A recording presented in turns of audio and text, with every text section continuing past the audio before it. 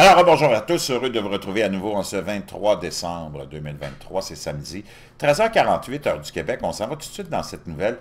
Une autre nouvelle concernant Vladimir Poutine, un autre renversement, un autre coup d'État, un autre, euh, un autre décès, un autre cancer.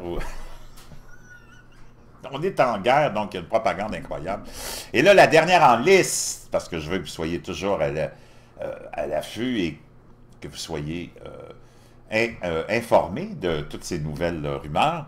C'est le US Sun qui nous dit que la fin de Vlad est arrivée. Il sera invincé lors du coup d'État qu'on appelle du cygne noir, suite à une guerre bâclée et pourrait disparaître demain, prévient l'ancien chef de la L'ancien chef de la CIA, sûrement les mêmes qui nous avaient dit que Saddam Hussein avait des armes de destruction massive, Jack Devine, et sûrement les mêmes dont Robert, euh, John F. Kennedy parlait en disant je voudrais les mettre en mille morceaux et les envoyer aux 80 en parlant des agences de renseignement.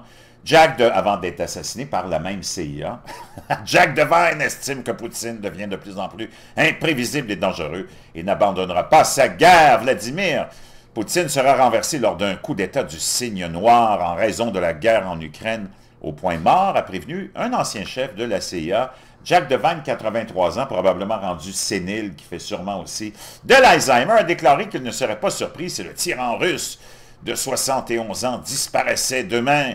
Les experts ont prévenu à plusieurs reprises que Poutine pourrait être éliminé lors d'un coup d'État. Ça, c'est Jack Devine ici. Les craintes d'un coup d'État persistent autour de Poutine et du Kremlin depuis que Mad Vlad a ordonné à ses troupes d'envahir l'Ukraine en février de l'année dernière, la guerre acharnée révélant des fissures dans son emprise de plus en plus fragile. Alors que Poutine vient d'annoncer qu'il sera présent pour un autre mandat et qu'il est à 90% d'appui. Le dirigeant russe a été confronté à un soulèvement armé de la part du chef de guerre, Eugénie Prigogine, à une vague d'attaques de sabotage de la part de partisans anti-russes et a survécu à un certain nombre de tentatives d'assassinat présumées, en plus de 3, 4, 5 cancers en phase terminale. Les experts ont prévenu que Poutine ne connaîtrait peut-être pas un autre anniversaire.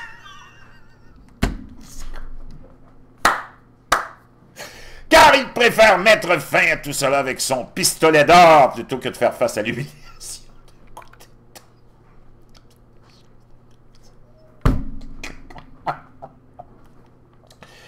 Tu penses même que tu es dans un script ou un scénario d'un film euh, d'humour de série B, là, mais c'est drôle, tu sais.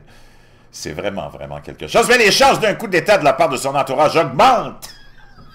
Il fait face à la perspective d'une impasse permanente en Ukraine, alors que les gens, Poutine se retient tellement en Ukraine, puis il a eu tout ce qu'il voulait.